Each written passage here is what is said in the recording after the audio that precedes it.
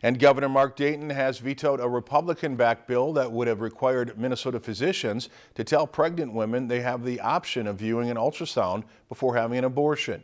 The Democratic governor vetoed the bill Wednesday after it passed the legislature when several Democrats joined Republicans in supporting the measure. Dayton said he objected to interfering with the doctor-patient relationship. Supporters argued the bill would give women more information before deciding to have an abortion. If you enjoyed this segment of Lakeland News, please consider making a tax-deductible contribution to Lakeland PBS.